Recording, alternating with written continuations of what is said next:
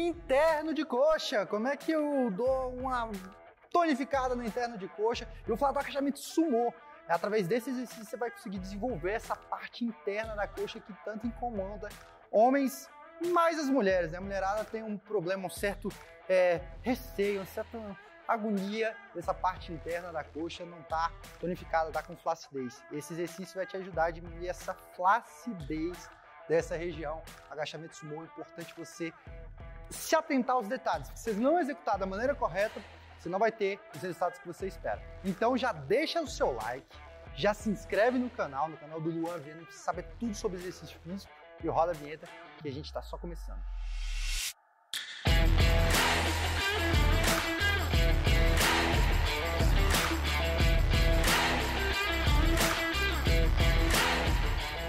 Vamos lá, agachamento sumô.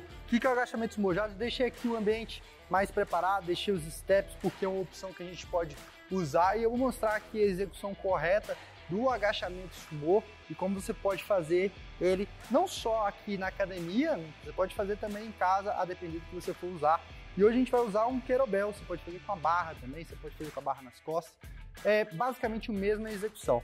O que, que é o agachamento sumô? Sumô, se você bem sabe, vou pedir para o Felipe colocar aqui um atleta de sumô e a posição que ele fica é disso, é desse nome que veio. Mas nada mais é do que um agachamento com as pernas em afastamento. E não só afastadas, né, porque ela poderia estar afastada assim, mas com os pés voltados aí para fora.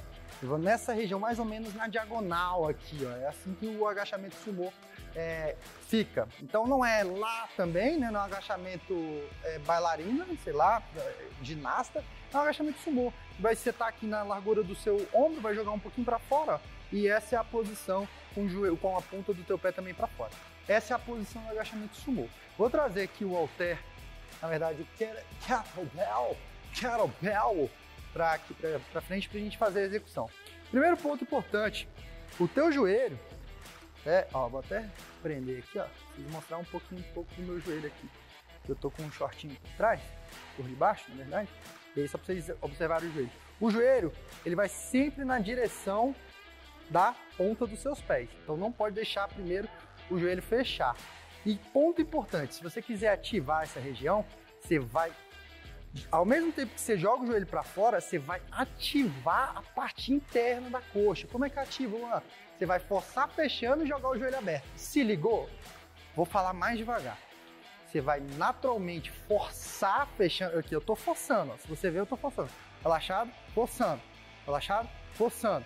Forçando fechar, só que o joelho ele vai para fora e o abdômen vai contraído. Então esse é o movimento do sumô. Ó. E forçando o interno de coxa. Você vai forçar é com a mente mesmo. Luan, não sei forçar com a mente. Você vai aprender. Ninguém nasceu sabendo.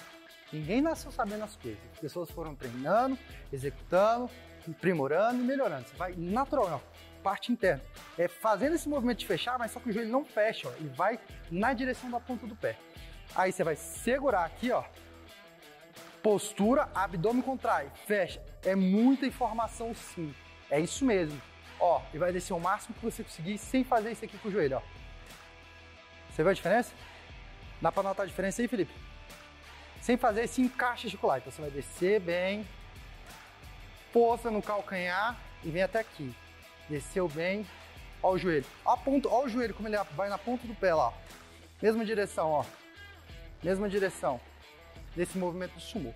Beleza, abre para mim aí, Felipe, de novo.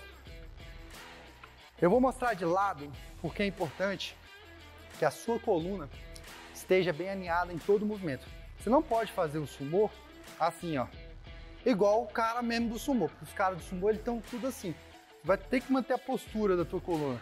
Eu vim até com essa camisa apertadinha aí, você dá uma olhada na coluna.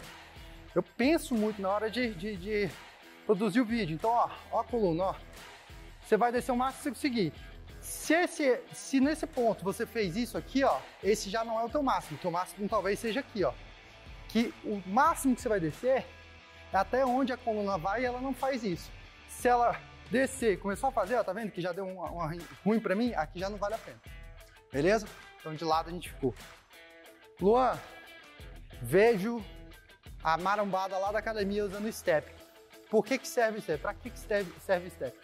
O step serve para você ganhar amplitude de movimento com a carga. O que, que é amplitude de movimento? Mano? Porra de amplitude.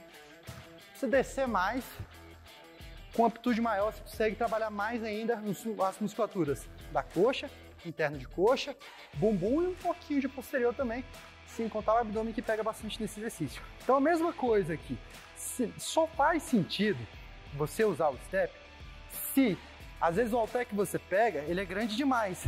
E aí na hora que você desce, ele vai lá e bate no chão. Aqui, né? Aqui ele bate no chão e você não consegue descer tudo que você poderia.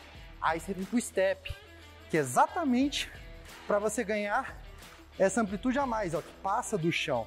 Agora não faz sentido nenhum você usar o step e parar aqui, ó. Que é a mesma coisa que você tá no chão. Você não tá além do step. Então o step ele só vai ser usado se você quiser ganhar mais amplitude e mais profundidade.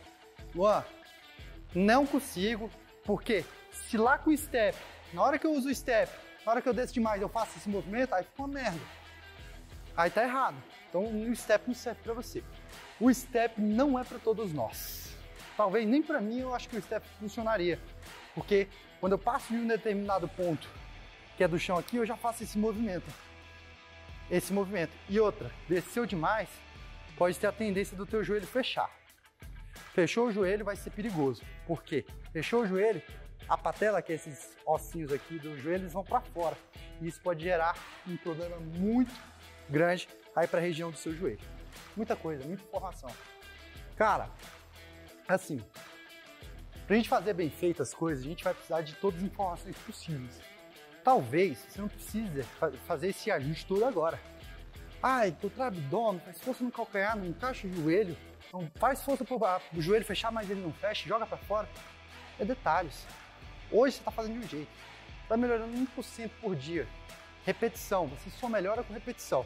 Não adianta, por exemplo, você assistir esse vídeo e falar, pô, é difícil pra caralho, não vou fazer. Aí, filho, realmente não vai melhorar. Você não precisa melhorar 5% de uma hora para outra, melhora 10%. Hoje, se você está fazendo 50%, se você chegar a 70%, você já vai ter bons resultados aí para tonificar, para deixar, ó, molenga. Tem gente que tem a perna molenga aqui, minha região aqui é molenga. Aqui, ó, pai, do pai tá on, ó. Meu, mole, tá on, durinho. E é uma tendência também dos homens ter essa região menos fácil. A mulher, a mulherada sofre, porque o acúmulo de gordura geralmente é na região da coxa e do quadril. Nós não, nós homens a gente acumula mais na pochete. Tá? Então é, essa é uma vantagem dos homens. Isso é questões hormonais e tudo mais. Enfim, não vamos entrar nesses detalhes. Mas, com os exercícios certos, uma sequência correta, executando da maneira certa, você consegue bons resultados. Beleza? Enfim, acho que ficou claro. Se você tiver qualquer dúvida, você vai colocar nos comentários. Eu vou deixar aqui também mais dois exercícios aqui e aqui sobre perna. Principalmente posicionamento dos pés no leg press, vai te ajudar.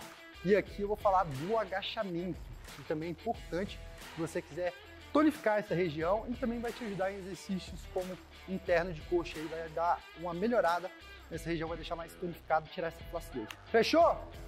Você já deixou teu like? Fala sério, você está inscrito no canal? Eu sei que tá. Se não tiver, se inscreve no canal, já ativa as notificações que semana que vem tem vídeo novo também e você não pode perder. É isso? Vamos em frente, que é só o começo.